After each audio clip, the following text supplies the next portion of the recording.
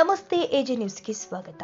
ಕಳೆದ ಒಂದು ತಿಂಗಳಿನಿಂದ ಬೆಳಗಾವಿ ಕೇಂದ್ರಿತವಾಗಿ ರಾಜ್ಯದಾದ್ಯಂತ ನಡೀತಾ ಇರುವ ಭಗವದ್ಗೀತೆ ಅಭಿಯಾನದ ಮಹಾಸಮರ್ಪಣೆ ಶನಿವಾರ ಬೆಳಗಾವಿಯಲ್ಲಿ ನಡೆಯಲಿದೆ ಅಂತ ಸೋಂದಾ ಸ್ವರ್ಣವಲ್ಲಿ ಮಹಾಸಂಸ್ಥಾನದ ಶ್ರೀಮದ್ ಗಂಗಾಧರೇಂದ್ರ ಸರಸ್ವತಿ ಸ್ವಾಮಿಗಳು ತಿಳಿಸಿದ್ದಾರೆ. ಈ ಕುರಿತು ಬೆಳಗಾವಿಯಲ್ಲಿ ಶ್ರೀಗಳು ಹೇಳಿಕೆ ಬಿಡುಗಡೆ ಮಾಡಿದ್ದಾರೆ.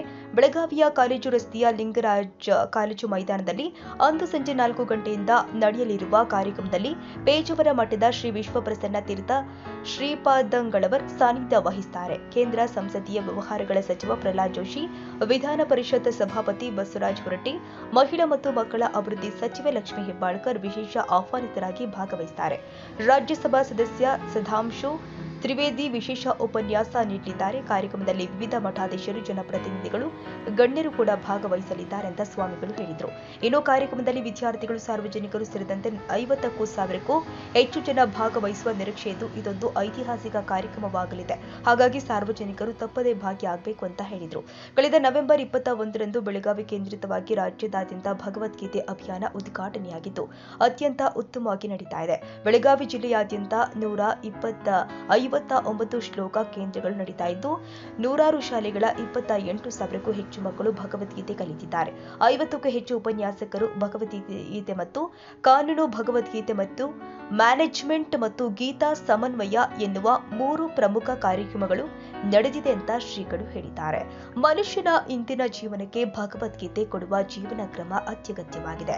ಶಾಂತಿಯನ್ನ ಕಾಣದೆ ಮನುಷ್ಯ ಚಡಪಡಿಸುತ್ತಿದ್ದಾನೆ ವಿಜ್ಞಾನದಲ್ಲಿ ನಾವು ಪ್ರಗತಿ ಸಾಧಿಸ್ತಾ ಇದ್ದೇವೆ. ಆದರೆ ಮಾನಸಿಕ ಆರೋಗ್ಯದಲ್ಲಿ ನಾವು ಹಿಂದೆ ಹೋಗ್ತಾ ಇದ್ದೇವೆ. ವಿಶ್ವದ ಬೇರೆ ಬೇರೆ ದೇಶದಲ್ಲಿಯೂ ಕೂಡ ಪರಿಸ್ಥಿತಿ ಗಂಭೀರವಾಗಿದೆ. ನಮ್ಮ ಸಂಸ್ಕೃತಿಯ ಪ್ರಭಾವದಿಂದಾಗಿ ಬೇರೆ ದೇಶಗಳಷ್ಟು ನಮ್ಮಲ್ಲಿ ಕೆಟ್ಟಿಲ್ಲ. ಸಣ್ಣ ವಯಸ್ಸಿನಲ್ಲಿ ಹೃದಯಘಾತ ಪ್ರಮಾಣ ಕೂಡ ಹೆಚ್ಚಾಗ್ತಾ ಇದೆ. ವೈಜ್ಞಾನಿಕವಾಗಿ ಮುಂದೆ ಹೋದಷ್ಟೇ ಮಾನಸಿಕವಾಗಿ ಹಿಂದೆ ಹೋಗ್ತಾ ಇದ್ದೇವೆ. ಇದಕ್ಕೆಲ್ಲ ಔಷಧ ಭಗವದ್ಗೀತೆಯಲ್ಲಿದೆ. ಹಾಗಾಗಿ ಭಗವದ್ಗೀತೆ ಅಭಿಯಾನದಲ್ಲಿ ಎಲ್ಲರೂ ಕೂಡ ಪಾಲ್ಗೊಳ್ಳಬೇಕು ಅಂತ ಸ್ವಾಮಿಗಳು ಹೇಳಿದರು. ಕೃಷ್ಣಂ ವಂದೇ ಜಗದ್ಗುರುಂ. ಭಗವದ್ಗೀತಾ ಅಭಿಯಾನ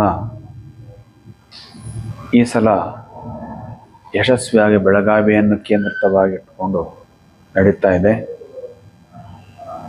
ಬಹಳ ಅಭಿಮಾನದ ಸಂಗತಿ ಅಂತಂದರೆ ಬೆಳಗಾವಿ ಜಿಲ್ಲೆಯಲ್ಲಿ ಅತ್ಯಂತ ಹೆಚ್ಚು ಅಭಿಯಾನದ ಪ್ರಗತಿ ಕಂಡು ಬರ್ತಾ ಇದೆ. ಯಾಕಂದರೆ ಈಗ ಒಂದು ತಿಂಗಳಿನಲ್ಲಿ ಅಂದರೆ ಜನ, ನವೆಂಬರ್ ಇಪ್ಪತ್ತ ಒಂದಕ್ಕೆ ಇದು ಉದ್ಘಾಟನೆಗೊಂಡಿತು ಇವತ್ತು ಡಿಸೆಂಬರ್ ಇಪ್ಪತ್ತಕ್ಕೆ ನಾವು ಬಂದಿದ್ದೀವಿ. ಈ ಒಂದು ತಿಂಗಳಿನಲ್ಲಿ ಅದ್ಭುತವಾದ ಪ್ರಗತಿ ಅಂತ ಹೇಳ್ಬೋದು. ನೋಡಿ, ನಗರದಲ್ಲಿಯೇ ನೂರ ನಾಲ್ಕು ಶ್ಲೋಕ ಕೇಂದ್ರಗಳು ನಡೆದಿದ್ದಾವೆ. ಅದರಲ್ಲಿ ಎಲ್ಲ ಶಾಲೆಗಳು ಕೂಡ ಸೇರಿದ್ದಾವೆ. ಮತ್ತು ಈಗ ಈಗ ಸಿಕ್ಕಿರುವ ಅಂಕಿಅಂಶದ ಪ್ರಕಾರ ಹದಿನೈದು ಸಾವಿರ ಮಕ್ಕಳು ಶ್ಲೋಕಗಳನ್ನು ಕಲಿತಿದ್ದಾರೆ ನಗರದಲ್ಲಿ. ಹಾಗೆ ಬೆಳಗಾವಿ ಗ್ರಾಮೀಣ ಪ್ರದೇಶದಲ್ಲಿ ಸುಮಾರು ಹದಿಮೂರು ಸಾವಿರ ಮಕ್ಕಳು ಭಗವದ್ಗೀತೆಯನ್ನು ಕಲ್ತಿದ್ದಾರೆ. ಬೆಳಗಾವಿ ಜಿಲ್ಲೆ ಅಭಿಯಾನದ ಒಂದು ವಿಶೇಷ ಅಂದರೆ ನಗರವನ್ನು ಮಾತ್ರ ಇಟ್ಕೊಳ್ಳದೆ ತಾಲೂಕುಗಳನ್ನು ಕೂಡ ಇಲ್ಲಿ ಗಮನದಲ್ಲಿ ಇಟ್ಕೊಂಡಿದ್ದಾನೆ ಹೀಗಾಗಿ ಒಟ್ಟಾರೆ ಬೆಳಗಾವಿ ಜಿಲ್ಲೆಯ ಅಭಿಯಾನ ಅತ್ಯಂತ ಪ್ರಗತಿಯಲ್ಲಿದೆ ಅಂತ ಹೇಳೋದಕ್ಕೆ ಭಾಳ ಸಂತೋಷ ಆಗ್ತದೆ. ಇದರ ಜೊತೆಯಲ್ಲಿ ನೂರಾರು ಉಪನ್ಯಾಸಗಳು ಆಗಿದ್ದಾವೆ. ಅಲ್ಲದೆ ಮಕ್ಕಳಿಗೆ ಸ್ಪರ್ಧೆಗಳು ಈಗಾಗಲೇ ಒಂದು ಹಂತಲ್ಲಿ ಆಗಿದೆ. ಮತ್ತು ಕೊನೆಯ ಹಂತ, ರಾಜ್ಯ ಹಂತ ಒಂದು ರಾಜ್ಯ ಮಟ್ಟ ಸ್ಪರ್ಧೆ ಇಪ್ಪತ್ತ್ಮೂರಕ್ಕೆ ಆಗಲಿಕ್ಕಿದೆ.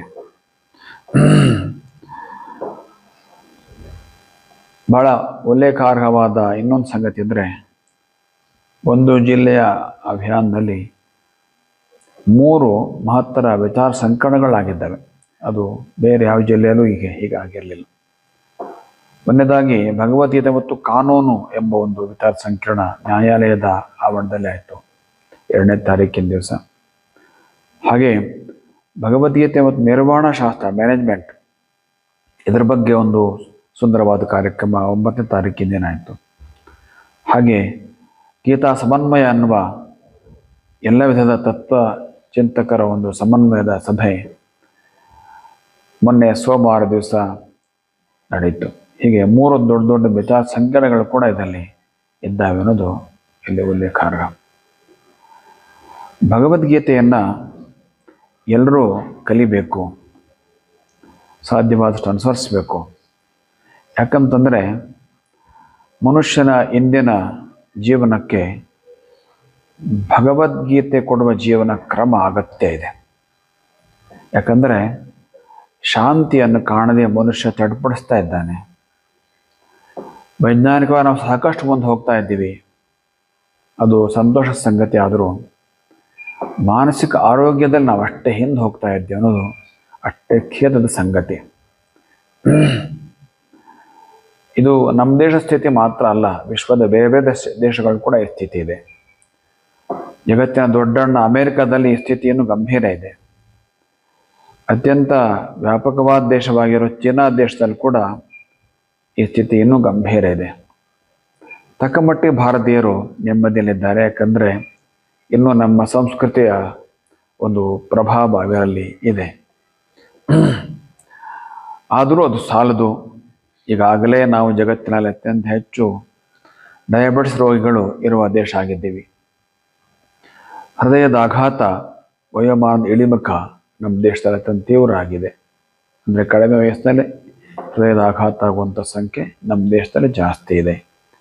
ಇವೆಲ್ಲ ಮಾನಸಿಕ ಆರೋಗ್ಯದ ಹಿನ್ನಡೆಯನ್ನು ಸೂಚಿಸ್ತವೆ. ಹೀಗಾಗಿ ವೈಜ್ಞಾನಿಕವಾಗಿ ನಾವು ಎಷ್ಟು ಮುಂದೆ ಹೋಗ್ತಾ ಇದ್ದೀವೋ ಮಾನಸಿಕ ಆರೋಗ್ಯದಲ್ಲಿ ಅಷ್ಟೇ ಹಿಂದೆ ಹೋಗ್ತಾ ಇದ್ದೀವಿ. ಇದನ್ನು ಸರಿಪಡಿಸ್ಕೊಳ್ಳೋಕ್ಕೆ ಇಂದಿನ ಜೀವನಕ್ಕೆ, ಭಗವದ್ಗೀತೆ ಕೊಡುವ ಜೀವನಕ್ಕೆ ಬಹಳ ಅಗತ್ಯ ಇದೆ.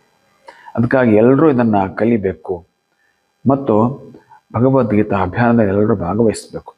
ಭಾಗವಹಿಸಿದರೆ ಅದನ್ನು ಓದುವ, ತಿಳ್ಕೊಳ್ಳುವ, ಅನುಸರಿಸುವ ಒಂದು ಪ್ರೇರಣೆ ಬರ್ತದೆ. ಇಪ್ಪತ್ತ್ಮೂರನೇ ತಾರೀಕಿನ ದಿವಸ ಮಧ್ಯಾಹ್ನೋತ್ತರ ಲಿಂಗರಾಜ್ ಕಾಲೇಜ್ ಮೈದಾನದಲ್ಲಿ ವಿಸ್ತಾರವಾದ ಸಭೆ ಏರ್ಪಟ್ಟಿದೆ. ಬೇರೆ ಬೇರೆ ಜಿಲ್ಲೆಗಳಿಂದಲೂ ಕೂಡ ಜನಗಳು ಬರ್ತಾರೆ. ಬೆಳಗಾವಿ ಜಿಲ್ಲೆಯ ಜನ ಹೆಚ್ಚನ್ನು ಭಾಗವಹಿಸ್ತಾರೆ. ಸುಮಾರು ಐವತ್ತು ಸಾವಿರ ಜನ ಭಾಗವಹಿಸಬಹುದು ಅನ್ನೋ ನಿರೀಕ್ಷೆ ಇದೆ. ಅಲ್ಲದೆ ಈ ಕಾರ್ಯಕ್ರಮಕ್ಕೆ ರಾಷ್ಟ್ರದ ಶ್ರೇಷ್ಠ ಚಿಂತಕರಾದ ಸುಧಾಂಶು ತ್ರಿವೇದಿಯವರು ಉಪನ್ಯಾಸಕರಾಗಿ ಆಗಮಿಸಲಿಕ್ಕಿದ್ದಾರೆ. ಪೇಜಾವರ ಶ್ರೀಗಳವರು ವಿಶೇಷ ಆಹ್ವಾನಿತರಾಗಿ ಬರಲಿಕ್ಕಿದ್ದಾರೆ. ಪ್ರಹ್ಲಾದ್ ಜೋಶಿಯವರು ಆಹ್ವಾನಿಸಲ್ಪಟ್ಟಿದ್ದಾರೆ. ರಾಜ್ಯದ ವಿಧಾನಸಭಾ ಪರಿಷತ್ತಿನ ಸಭಾಪತಿಗಳಾದ ಬಸವರಾಜ್ ಹೊರಟ್ಟಿಯವರು ಕಳಕಳಿಯನ್ನು ಬರೆದು ಒಪ್ಪಿಕೊಂಡಿದ್ದಾರೆ ಇದಲ್ಲದೇ ದೇ, ರಾ, ಜಿಲ್ಲೆಯ ಅನೇಕ ಜನ ಗಣ್ಯರು, ಅತಿ ಗಣ್ಯರು, ರಾಜ್ಯದ ಬೇರೆ ಬೇರೆ ಗಣ್ಯರು, ಅತಿ ಗಣ್ಯರು ಭಾಗವಹಿಸ್ತಾ ಇದ್ದಾರೆ ಮತ್ತು ಜಿಲ್ಲೆಯ ಎಲ್ಲ ಸ್ವಾಮೀಜಿಗಳನ್ನ ಆಮಂತ್ರಣ, ಇದರೊಳಗೆ ಆಮಂತ್ರಿಸಿದ್ದೀವಿ. ಅನೇಕರು ಬರ್ತಾ ಇದ್ದಾರೆ. ಹೀಗಾಗಿ ಒಂದು ಬೆಳಗಾವಿಯ ಒಂದು ಐತಿಹಾಸಿಕ ಕಾರ್ಯಕ್ರಮ ಆಗಲಿಕ್ಕಿದೆ. ಅದರಿಂದ ಈ ಕಾರ್ಯಕ್ರಮವನ್ನು ಯಾರು ತಪ್ಪಿಸ್ಕೊಳ್ಬೇಡಿ ವಶವಾಗಿ ಬನ್ನಿ, ಭಾಗವಹಿಸಿರಿ. ಮಧ್ಯಾಹ್ನ ನಾಲ್ಕು ಗಂಟೆಯಿಂದ ಸಾಯಂಕಾಲ ಏಳು ಗಂಟೆ ತನಕ ಇರ್ತದೆ. ಎಲ್ಲರಿಗೂ ಈ ಕಾರ್ಯಕ್ರಮಕ್ಕೆ ಸ್ವಾಗತ.